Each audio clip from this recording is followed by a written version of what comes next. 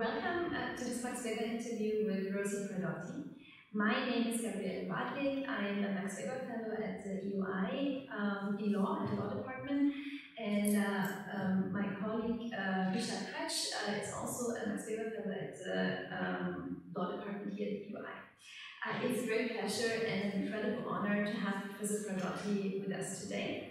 Professor Braidotti is a distinguished, distinguished professor emerita at Utrecht University, where she has taught since 1988 and where she was the founding professor of women's studies, as well as the founding director of the Center for the Humanities. Professor Braidotti is a continental philosopher and feminist theorist whose work is at the intersection of and draws on social and political theory, gender theory, as well as post-colonial studies. Her most recent work, her work on the post-human condition or the post-human convergence, is the forefront of current debates about the reconfiguration of identity and subjectivity in light of technological and ecological transformations. She has developed these theories in uh, three monographs, Posthuman, published in 2013, Posthuman Knowledge, published in 2019, and Posthuman Feminism, published in 2021 it's no exaggeration to say that her contributions have been truly transformative in the fields of continental philosophy and feminist theory.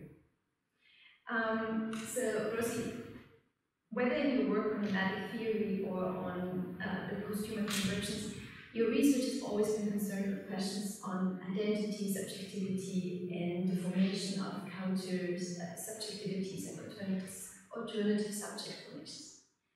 Can you explain uh, your move from nomadic theory to posthuman theory and how they relate to each other? And also maybe reflect or, or explain to us how posthumanism relates to transhumanism. Thank you so much, and dear Gabriel Michel, for having me. Thank you to the Max Weber program of the Institute for inviting me. Great honor to be back here. Spent many happy years at the Robert Schuman uh, Institute as a John um, Monnet Fellow and Professor, so great to be back. And good luck to everybody with your wonderful work here. So, simple question, million dollar question. Um, I am sort of um, myself quite astounded really by how um, a research career and monographs that comes from research and dialogue with each other books go out into the world and they start talking to one another. It's independently of the author. It's quite extraordinary. I'm always humbled by the effect of um, publications. Um, they, you lose them the moment you put them out there. It's, it's, very, it's a big relief for those of you who are still terrified of anything that you write. Trust me, you will be dispossessed the moment you publish it. So just relax and get it done. Um, nomadism is part of the very early work to try to transform the humanist understanding of subjectivity. It's very much the work of um, a baby boomer generation working in the 1980s. I was in Paris studying with the philosophers that became the post-structuralist generation, uh, with Michel Foucault, with Luce Irigaray, with uh, Gilles Deleuze, um, but there were so many others. There was Lyotard, there was Cixous, uh, there were, there were, uh, there was, um, I think, Michel Serres, amazing people. And what they were trying to say is that you cannot really solve serious questions with the same language that you use to formulate them, which is Einstein's fundamental insight. You need to learn to think differently. Uh, so it's a non-reformist way to go about philosophy. And they did this because they took very seriously the role of philosophy in uh, history, modern history, European history, the role of philosophy in the Second World War and fascism, the role of philosophy in the in colonialist periods, for them it was the Algerian War, and the role of philosophy in supporting systems of domination and oppression. They didn't do that in any negative sense of the term. It wasn't a cheap shot, um, uh, guilt tripping. It was calling philosophy to accountability for the ideas that it put out into the world.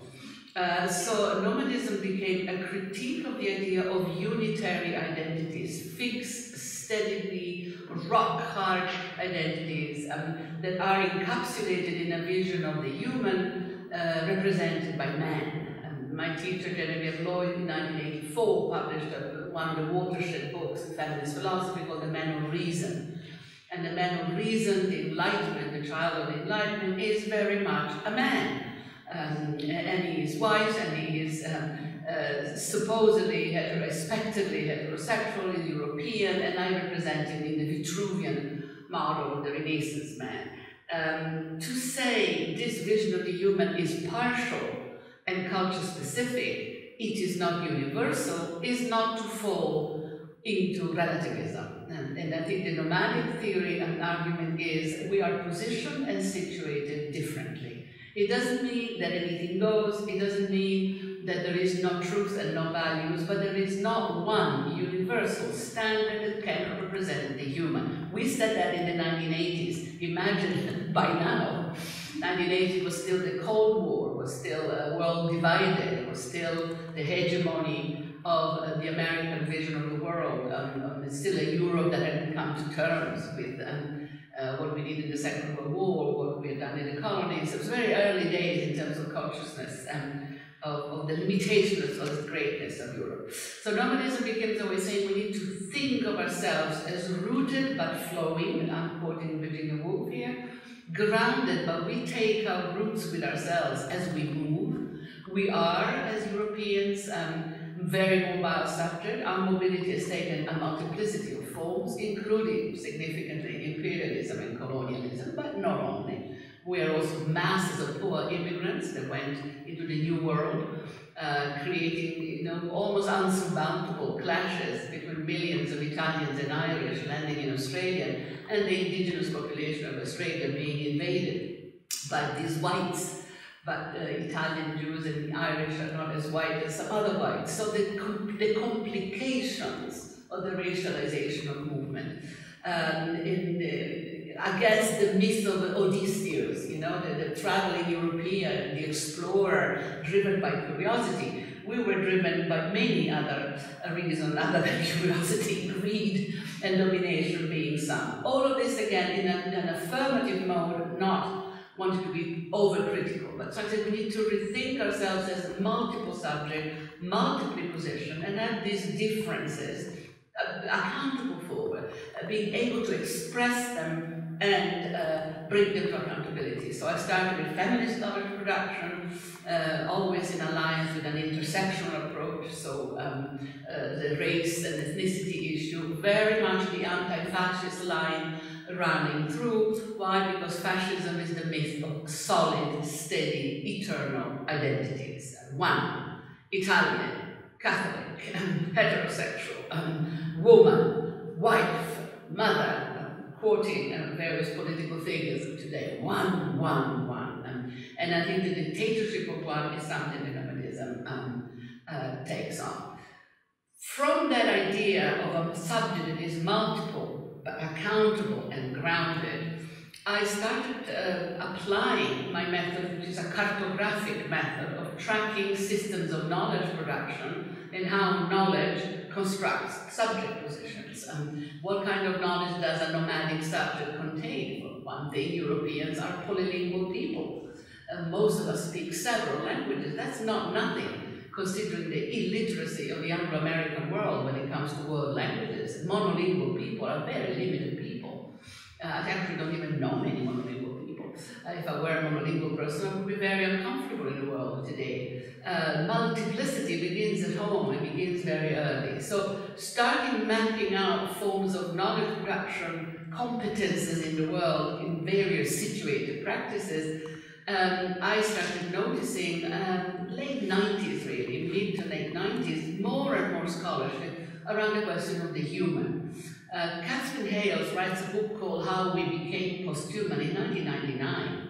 Already in 1985, Donna Haraway says we have become cyborg in a world-changing text called A Manifesto for Cyborg, but a significant subtitle, A Feminist Socialist Manifesto for the 20th Century.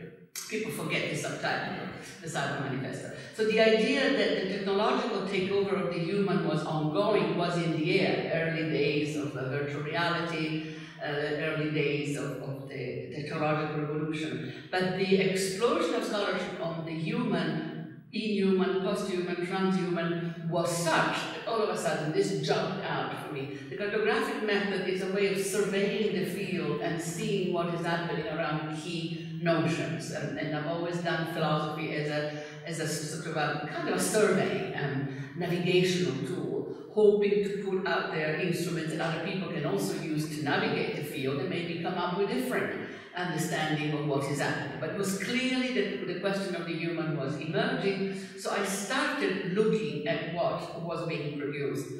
And this meant really stepping outside codified academic knowledge, because there was no course on transformations of the human other than in a historical perspective or an anthropological perspective. Um, yeah, institutes of technology would be doing robotics, artificial intelligence, virtual reality as we called it then, early algorithmic studies, but without any really overall um, philosophical or, even critical framework. Um, and what struck me was the presence of a dominant understanding of the relationship between the human and the technological, which is transhumanism. And transhumanism is today um, taught and headquarters at the University of Oxford, among others, but I think I would say is the dominant ethos of cognitive capitalism, advanced capitalism, and it is um, the belief that the human as a model of cognition is rather old-fashioned, that both our organisms and our brains are less fast, less efficient in thinking and certainly computing than the computational network that we have designed ourselves artificial intelligence is faster, better.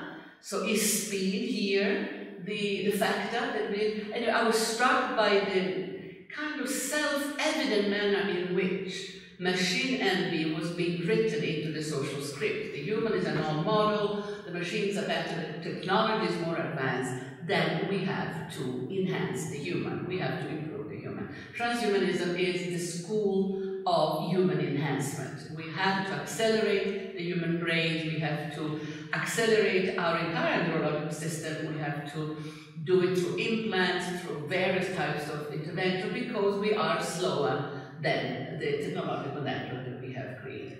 The program that they ran in Oxford is called Super Intelligence, and it is a very prestigious academic program that, that preaches this type of um, ethos, which is then applied across society in the various technological applications we get. And in an overall feeling that is between the euphoria, oh, the technologies are so advanced, and the melancholy, but then we human are doomed. And I think I was struck by this kind of manic depressive logic of, of excitement and despair that surrounds this whole operation of transhumanism. So what I wanted to do is First of all, put this on the table and say to everybody, do you see this too? Is this really happening? Is, is a, a massive human enhancement program being run at Oxford? And did we have a conversation about, do we want to be enhanced? Uh, did anybody actually consult us on? Or is it just obvious that we are an old model and consequently we need to be improved? Where was the conversation? Whatever happened to democracy here in terms of the human? But of course, the answer in transhumanist is very um, insidious, if I may say so, with all due respect, in that they say that analytically they accept that the human is not the center. So analytically, they are post-anthropocentric, and the machines are better, technology is faster.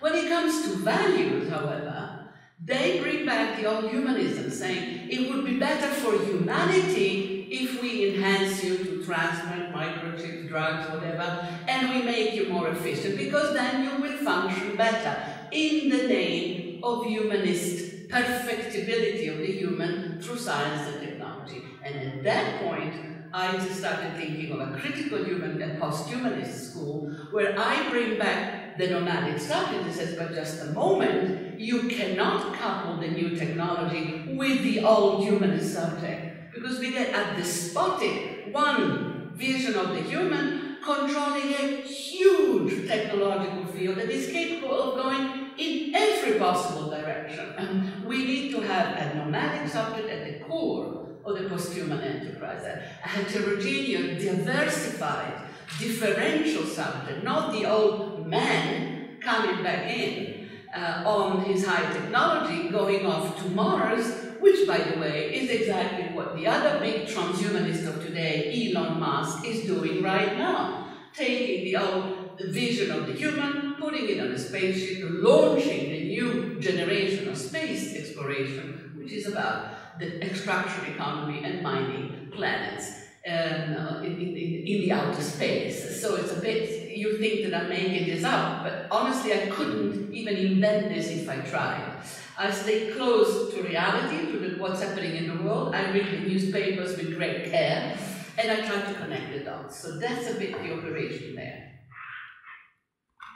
Thank you for a very exciting start to this discussion. And following on that, um, if we are to go with you and, and pursue this vision and post-human understanding of ourselves and our world, you've said that what we need is to is collective assemblages to redefine what we are capable of becoming. So would you be able to elaborate a bit on what, what that means and what is the necessary makeup of these assemblages, uh, especially how academics or theorists sort of fit into them, uh, and how you think about making these connections between academia and the rest of the world? Uh, perhaps drawing on your own substantial experience in, in making those linkages uh, that we might be able to sort of follow in our work as well. Thank you very much. Great question.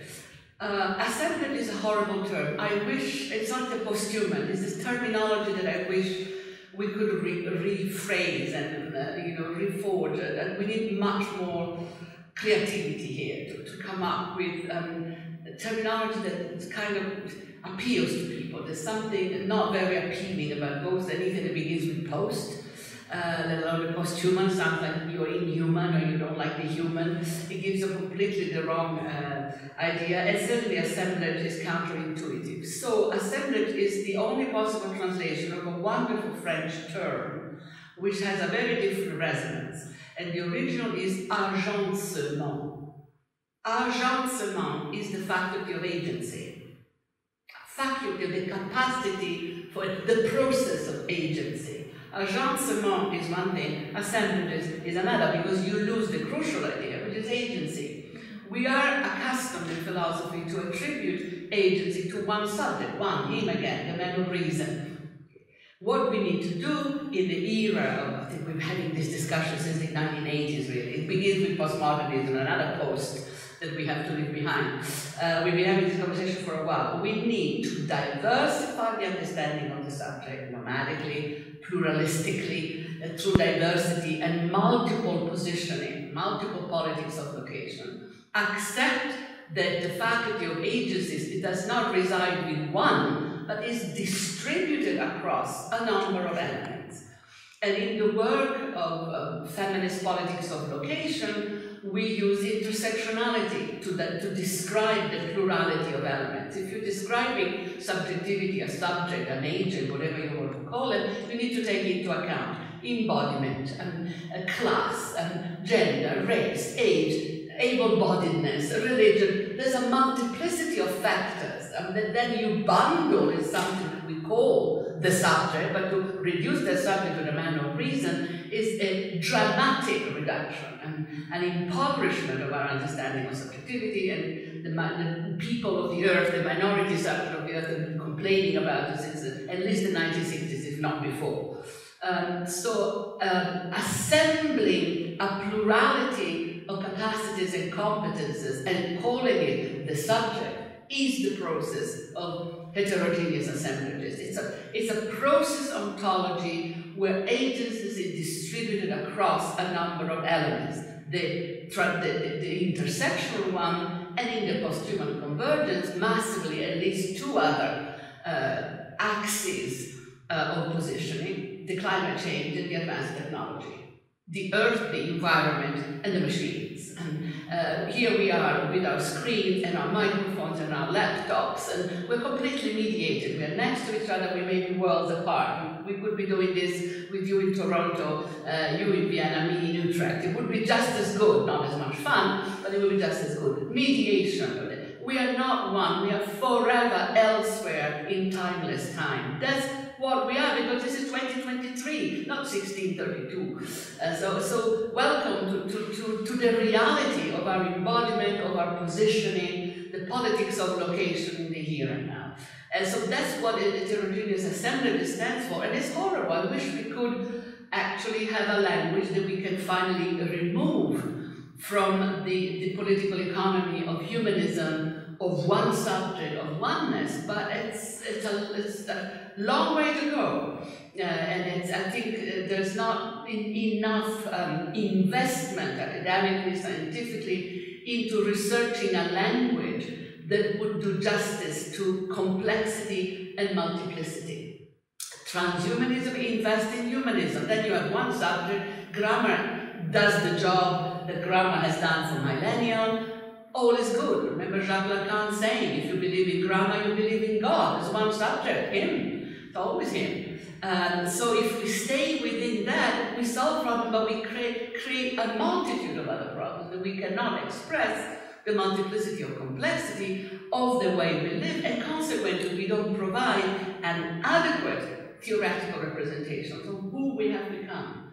Uh, so agencement, process ontology of heterogeneous elements that compose something that is a distributed subjectivity. But you see, I need a sentence and a half to make the point. When you say man, everybody knows what I mean, okay? Man, everybody knows, oh, really. And if you start scratching the surface, of course, a thousand questions come up. But the academic world has not accepted that critique, certainly not in Europe, of humanism. It would still be perceived as either, um, you know, relativistic, unscientific, or even worse, politically correct, um, guilt-tripping in the present reactionary and this climate that we're in. So then we assemblage thinking has become very large, and then I conclude in political, social political theory, we have Manuel de Landa writing on assemblages, we have again Kate Hayles raising on it. A, you, if you look up assemblage theory, you will find a whole constituted um, school now. Um, and, and my feminist variation on agencement and, and nomadism is part of that.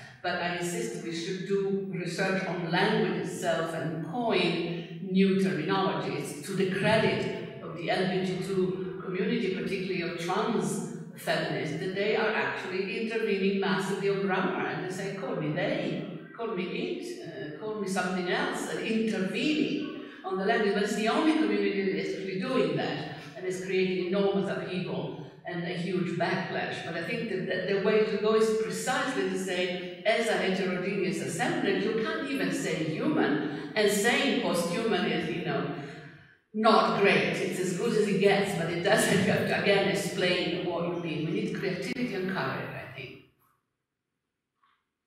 Can I uh, briefly follow up on that uh, question of language questions of concepts and uh, what it means to uh, how, if we move towards post-humanist understanding of the world and a post-human understanding of the world, what is the risk uh, of bringing with us old concepts um, and ideas that, that are derived from, from humanism. And uh, as Michelle and I are both lawyers in international law and concerned with environmental questions, there's a big topic of the rights of nature. And uh, I was wondering whether there's, what is, you see a risk for example, apply the language of human rights, of rights, to nature, which is, can be understood simply as an extension of human rights and it's and um, very humanist framework, right? We, what is the risk of reproducing hierarchies by using the same concepts? And, and, and can, can such a framework, such as the rights of nature framework, ever account for something like post-humanist, post-human subjectivity, or how do we go about that? Again, a, a great question. Humanism is uh, the foundational stone of our entire system. Uh, it, it's, it is the secular branch of monotheism, so it, it, it's, it's kind of secularized religion. It's the basis of a legal system and our system of values, of, of ethics, of morals. Um, uh, so it's not something that one shakes off uh, easily or that one should necessarily. Uh, my argument is that it is the very um, uh, effect of our market economy and of our technologies that have eroded the relevance of humanism. Because when the transhumanists say the way to perfect the human is to make it closer to the machines, to enhance it, to make it technologically augmented, they would have to work very hard to convince me that this is a statement in favor of the human. It sounds like the opposite to me. And yet they present it as a way of defending, so um, the human. Humanism is a very difficult um, and complex uh, uh, notion to come to terms with. That's why I would call for a serious discussion about this. Part and parcel of humanism is a tradition of emancipation, a tradition of equality. It starts with the French Revolution giving equal rights to some men, it's only for men, women are not part of the picture, uh, Jews are not part of the picture, people of color are not part of the picture, children are part of the picture, disabled are part of it. It's some white men, but within that, they get the universal brotherhood,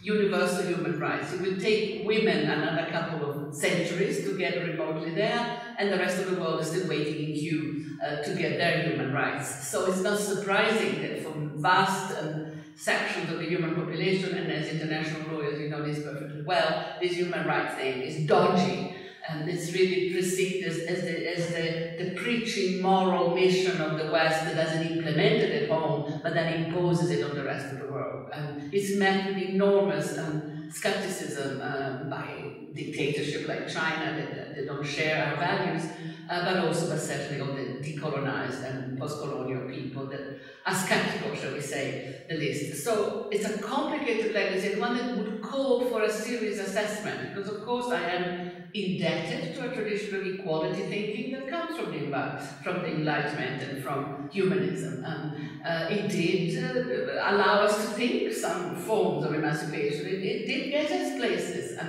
other cultures have not had this, this commitment to justice, to equality, to brotherhood. Um, feminists invented sisterhood to match this. Um, and, and, back in the 60s, it was a way of saying, cuckoo, we're here too, remember us uh, and to become included into this model. But I think it would require a much more serious discussion. It has become untouchable as some sort of dogmatic value and then you touch at your own risk and peril. And the university is part of it because the humanities and, uh, and humanism are at the core of our model of higher education and, and uh, uh, consequently difficult to look at. So I, what I would call for is an assessment of the notion in the light of the criticism made by feminists and LGBTQ people, uh, communities, um, indigenous, decolonial, post-colonial communities, people of color, people that have suffered from the bellicose humanism, as Edward Said called it, from white man's burden, this idea that we are the missionary culture that has to go out and teach the barbarians how to behave because only we have a sense of universal rights, which is quite preposterous considering our colonial past, our fascist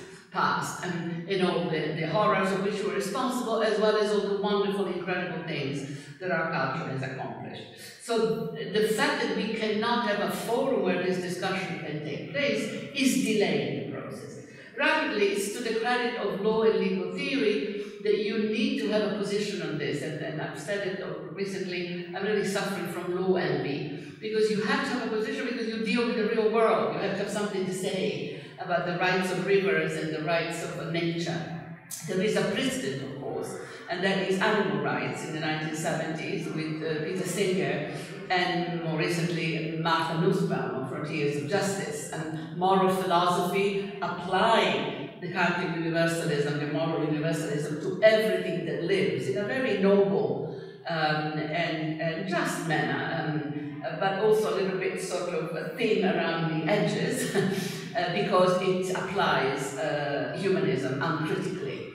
So what does it mean to give animals the same rights as human at a time when the human themselves are facing a number of limitations in our own evolution, see the competition by technology, but also uh, our own environmental devastation and possibility of not being able to survive.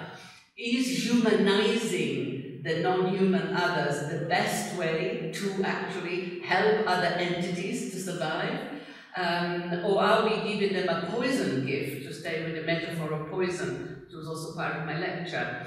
Are we giving them a slice of a poison cake? Say, oh, you can be human too, just as everything kind of falls to pieces. Big question mark. I have difficulties with the imposition of a humanist model that repeats that universalist gesture and presents it as altruistic and loving and generous, when it's in fact very appropriative, extremely limited, and it excludes all the criticism made by feminists and uh, decolonial people that are being dismissed as relativistic. Now, between universalism and relativism, there is the thing that matters, situated knowledges, perspectives, the politics of location, the politics of immanence, You're speaking from somewhere specific, embodied and embedded, and the position that you're speaking from is a window of perspective on reality. If you don't believe me, believe Leibniz that theorized this in monadology back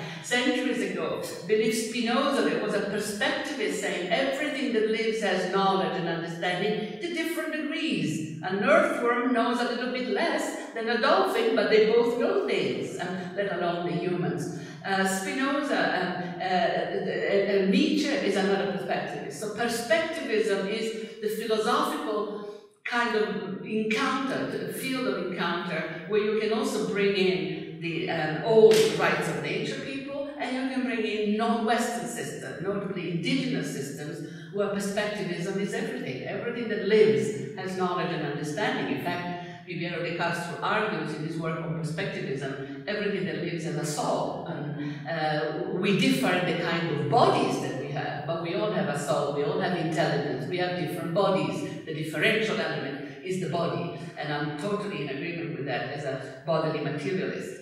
Uh, so I think again we go to the point that we need to critique the humanist universalism and be very careful uh, that we doesn't become an instrument of capture of the diversity of the living, and it said that, better to have the right of nature than uh, transhumanism or crass exploitation. Um, and I repeat, we have in the history of European philosophy models of perspectivist, materialist philosophies that can be very inspirational at this point for us to rethink the unity of nature and culture, the unities of mind and bodies, and the unity of the human and non-humans. We have those philosophical tools, let us use them. Thank you. Before we have to close, we'd love to take this opportunity to ask your advice um, for the next generation of academics, particularly in terms of how to blend a, a prolific writing career and activism and institution building, as, as, you have done throughout your career. Uh, our generation is starting careers in uh, a world full of neoliberal institutions that prioritize, for example, individualism. So how can we build community and create spaces to think collectively in this context? Um, how can we work in that context while also creating alternatives? Well, what a great question. Um, let me put it this way. It is my greatest hope that your generation, people like you, will never drop out of institutions, will stay in the university and research environment and lead the next wave of um, academic uh, decision makers and, and science leaders because we need uh, people of your talent to stay in. Having said that, I am very critical of the neoliberal governance of universities and the way in which it treats uh, starting researchers and the younger generations in general. Um, I think the, this, the complete suspension of the tenure system, I think the hierarchical distinction between different types of professorships, I think the academic star system coupled with the injustices that are at the, but at the basis, at the bottom of the academic hierarchy, the precariousness and the, the suspension of all rights and benefits and the lack of research support and the tyranny of grant writing and grant seeking, um, the, the self-entrepreneurial understanding of the researchers are devastating mechanisms. And I see the effects on the younger generation daily, the, the, the rate of burnout, the rate of fatigue, the rate, the rate of uh, discomfort, really. Um, we baby boomers lived in a much poorer world. We didn't have any of the technologies. Being poor was fine. Having bad haircuts was fine. We didn't have Instagram or any of the visual means of terror that you people, young people, have to live with. Uh, but we were to a certain extent left alone, partly because it was okay to be poor. Uh, we didn't have brands, we didn't live in, in the same world of representation.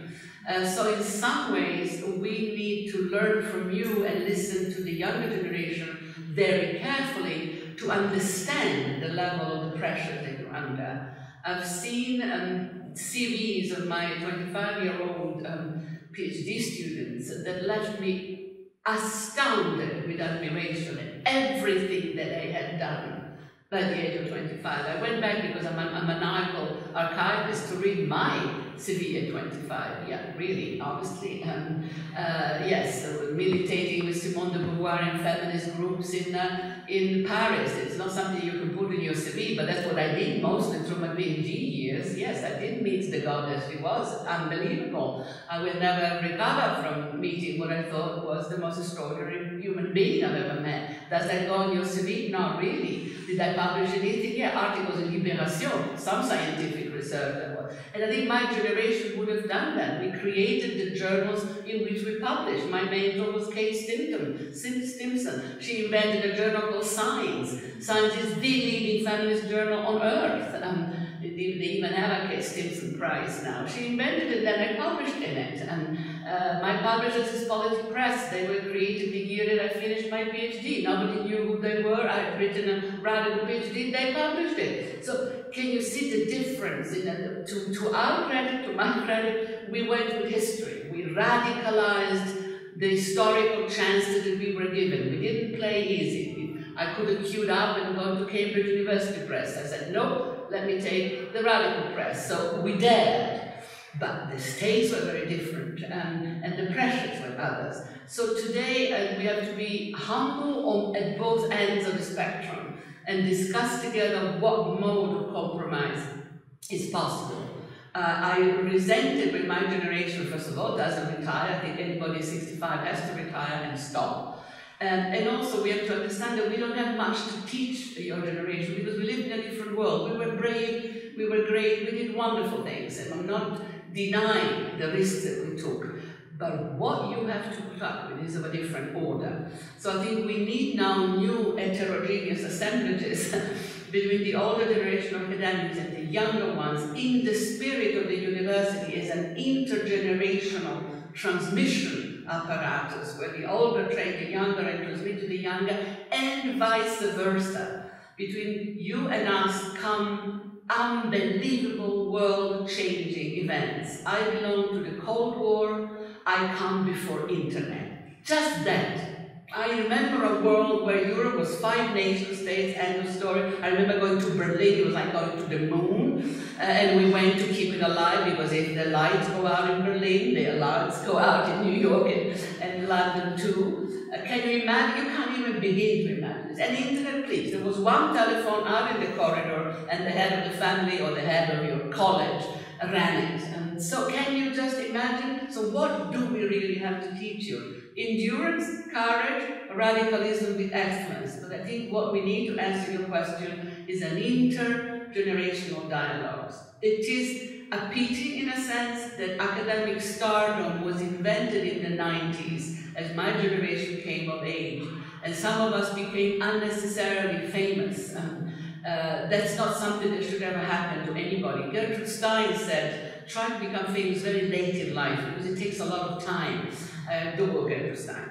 Um, I think academic fame is another layer of pressure that has come over you.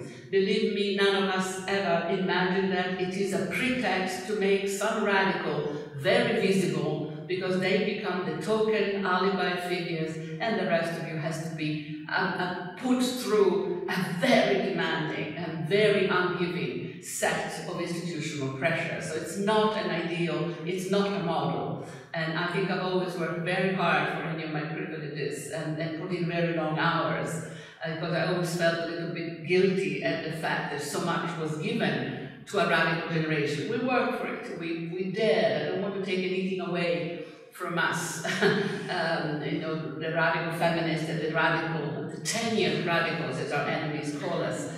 Um, but I do think it's not a model. I think the model is to be a, a reinvention of the intergenerational relationship in the mode of solidarity and mutual understanding. You have to explain to us what Instagram is and why I should be on it. I won't be. And we need to explain to you the importance of not having a career, plan of moving fast and breaking things, to quote the boys of Silicon Valley, to dare, to have courage, to have vision, to stick to your guns. But when I see everything that you have to put up with, I go back to the medieval model of the university and I become a pastoral care type of person. And I would say to you, take care of yourselves. Take care.